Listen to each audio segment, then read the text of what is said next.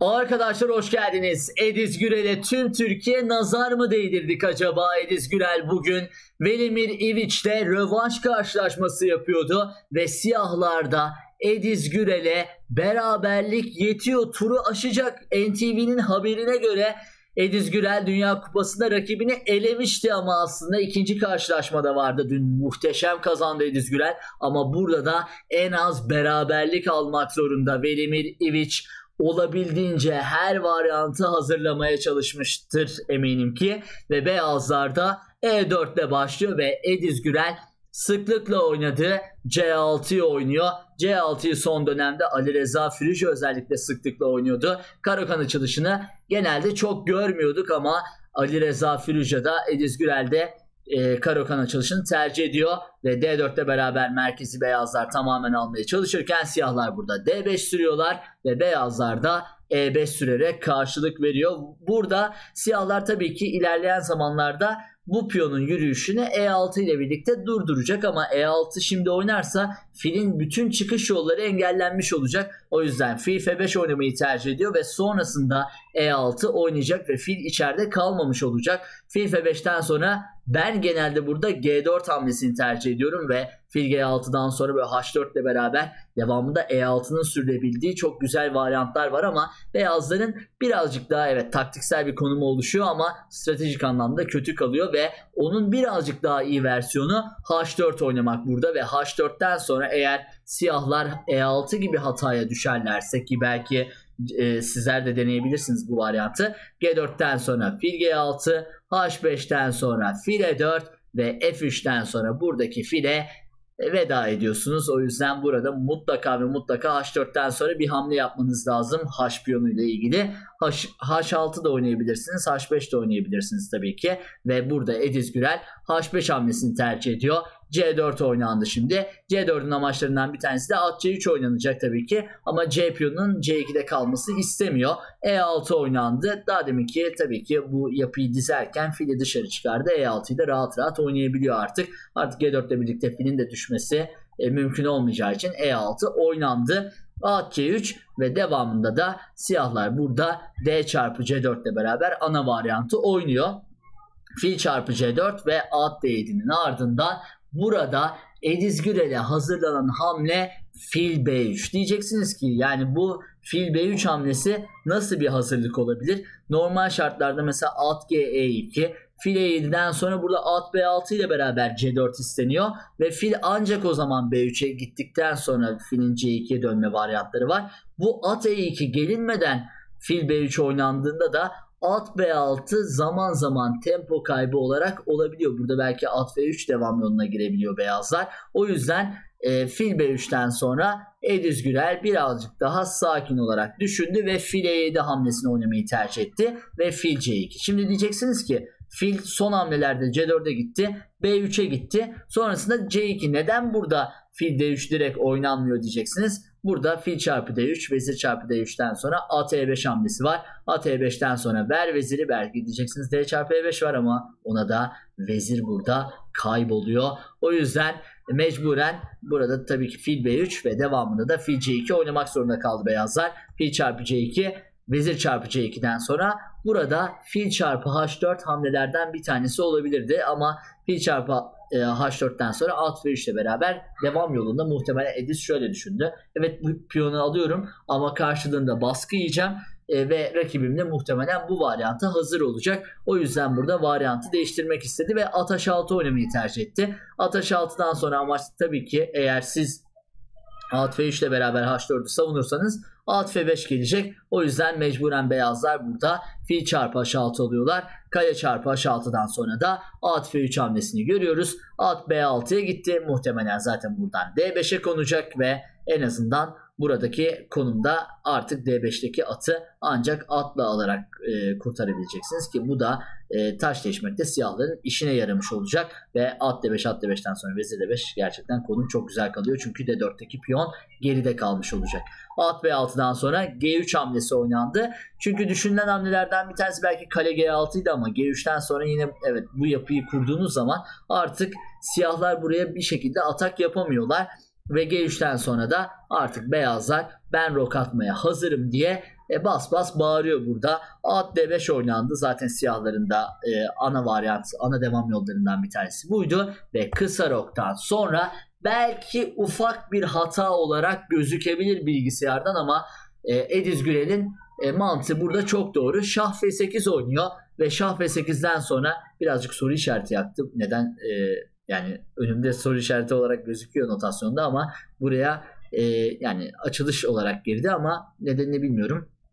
Burada amaçlardan bir tanesi G6 oynayacak Ediz Gürel. Şah G7'ye gidecek ve kale H8'den sonra ancak vezir gittiğinde kale D8 ile beraber buradaki kaleyi geliştirebileceğiz. İşte evet buradaki fili aldık. Belki ileride güzel olabilecek bir fili aldık. Siyah kareleri kullanabilecek bir fili aldık. Ama karşılığında çok tempo kaybetmiş olduk. Bilgisayarın önerisi burada vezir D7 ile devam etmekti. Vezir D7'den sonra uzun rokla beraber belki kale G8 gelecek ve sonrasında G5 ile beraber oyuna devam etme mantığı olabilirdi ama burada vezir D7 oynamak gerçekten çok güç çünkü vezir D7'de neredeyse hiçbir şey yapmıyor. İlerleyen zamanlarda kaleyi burada çiftleyip D4'e basmak için belki bir hamle olarak gözükebilir ama e, tabii ki Ediz Gürel masa başında bunu bulurken zorlanacaktı ve Şah B8 oynamayı tercih etti.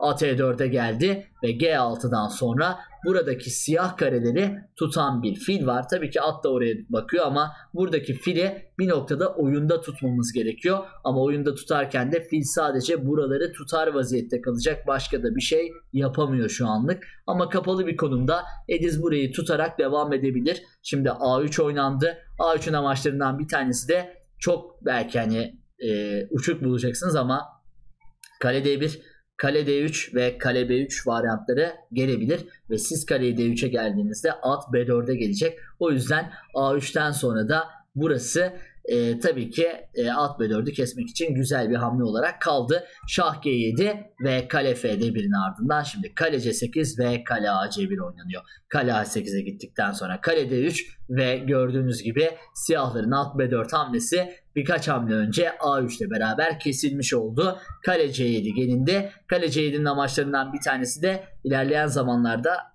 e, kalenin F3'ten belki aktarımı sebebiyle at G5 mesela at G5'e geldikten sonra kale F3'ten buraya bakacaktı ve e, buradaki C7'deki kalesiyle beraber F7'yi savunmak istedi Dizgürel ama konumun birazcık kapalı olduğunu fark edebiliyoruz. At ve D2 oynanıyor ve B6 oynandıktan sonra siyahlar he, eğer hiçbir şey yapmazsan at C4 gibi bir hamleye ben C5 oynayacağım diyor ve C5'ten sonra da bu konum aslında e, belki de siyahlar için artık e, günü kurtarmak anlamına ve Dünya Kupası'nda devam etmek anlamına geliyor. Ediz'in düşüncesi çok güzel. C5'ten sonra kalenin buraya bakabileceği için C5, DC5, fil C5 ve at C5, kale C5'ten sonra konum çok rahat kalıyor zaten burada ama vezir D1 hamlesi var. İşte bu her şeyi değiştiriyor. Çünkü artık siz C5 sürdüğünüz zaman ki Ediz sürdü burada D çarpı C5 Fil çarpı C5 ve at çarpı C5'ten sonra kale C5, kale C5, B C5'e şimdi atın E4'e gelmesi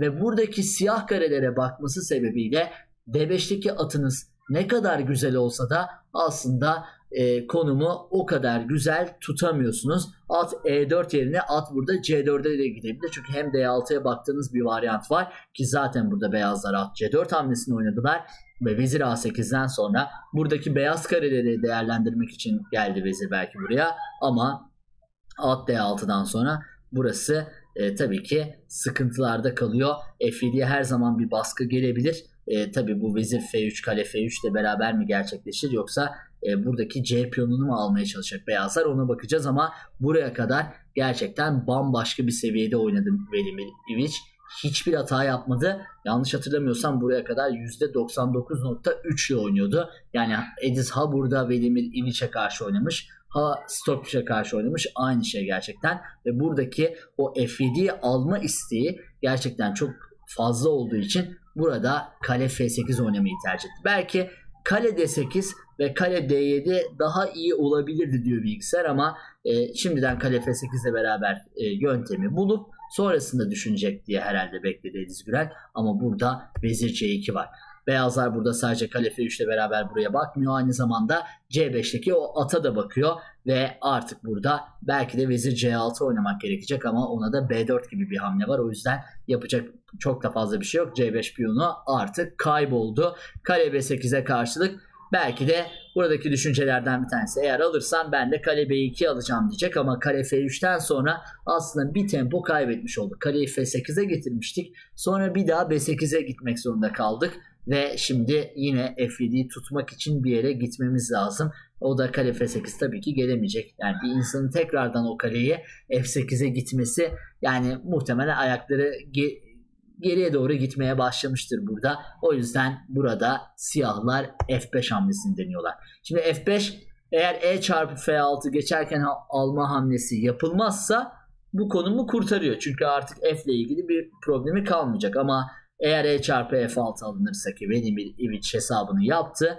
At F6'dan sonra konum artık burada e, beyazlara çok iyi kaldı. Dikkat ederseniz F3 istekte ama bunun karşılığında vezir C3 var. Hem burayı tutuyorsunuz hem de burada F6'ya basmış oluyorsunuz. E5 oynandı. Şimdi kale D3 oynanıyor ve C4'ün ardından e, buradaki e, piyonu ve feda etti. Vezir çarpı C4 belki hani burada kale B, B2 mi alacak diye ama kale B2'den sonra da burada vezir F7 gibi bir hamle var. O yüzden buraya da yani buraya bakmak zorundasınız. Kale F8 ile bakıyor ama buna da bu sefer kale B3 var. Kale B3'ten sonra da kalenin B7'ye gelip buralara bakması söz konusu. Ee, ve kale B3'ten sonra vezir D5 hamlesi geldi. Kale B7 inerse en azından vezirleri keserim diyor. Kale B7, şah G8, vezir D5, at D5'ten sonra kale A7 düşmüş oldu. Ve iki piyon öne geçmiş oldu beyazlar burada. AB piyonunu öne geçtiler ve kale F3'ten sonra B4 ve kale B3'ten sonra buradaki yürüyüşü e, sonraya sakladı. Zaten AB burada geçer olmuş oluyor ve bu atın işte piyona ulaşması birazcık zaman alacağı için at E4 hamlesini oynadı. Yani ya at D2 at C4 dönebilir ya da at D2 buradan at F3'ten buraya bakabilir ya da atı G5 aktarabilir ve sonrasında bu piyonları sürebilir. Ediz Gürel burayı daha fazla oynamak istemedi ve oyunu terk etti. AB piyonu zaten çok kolay bir şekilde ilerleyecekti. Ediz Gürel de burada bence hiç moral bozmadan terk edip devam etmesi de güzel oldu. İlk gün kazanmıştı, ikinci gün kaybetti ve sonunda bir birle beraber tiebreak'e gidiyoruz. Şimdi diyeceksiniz ki e, evet nazar değdirmiş olduk belki bütün Türkiye olarak çok güzel bir karşılaşmaydı. Dün sadece Türkiye'de değil, dünyada da yani hatta Chess.com'da şu anda bir video hazırlıyoruz biz e, globalde. Hem de e, FIDE e, paylaştı. Vichy Anand eski dünya şampiyonlarından e, Vichy paylaştı Ediz Gürel'i. Karşılaşma çok çok güzeldi. Burada da şöyle bir şey söyleyebiliriz. Ediz belki hani bazı hamleleri sanki yani iyi oynamamış gibi gözüküyor olabilir ama Ediz burayı %93 doğruluk oranıyla oynamış ama sıkıntı şu beyazlarda Velimir Ivic %99 doğruluk oranıyla buraya oynadığı için bilgisayara göre müthiş bir hazırlıkla buraya geldiği için Edis buna direnemedi. Umarım yarın tiebreak'te çok güzel bir galibiyet alacak ve ben de burada mutlu şekilde daha enerjili anlatacağım sizlere. Umarım keyif almışsınızdır. Keyif aldıysanız beğen tuşuna basmayı unutmayın ve yeni videolarda, yeni canlı yayınlarda Sabo Satranç kanalında görüşmek dileğiyle. Kendinize çok iyi bakın. Hoşçakalın. Bay bay.